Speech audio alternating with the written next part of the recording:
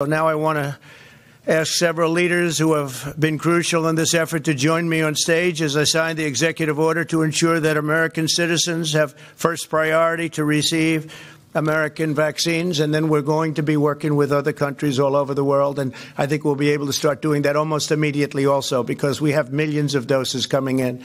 So uh, thank you very much. Thank you. It's a great honor.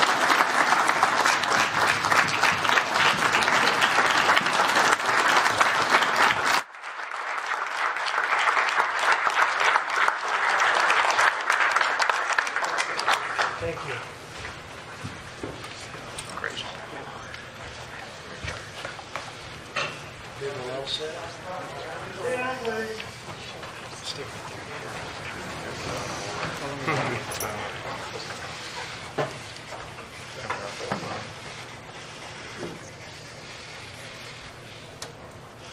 So, let's see here.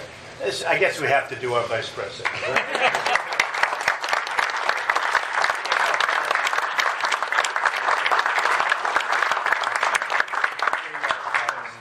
Spread that around. Spread, spread the wealth.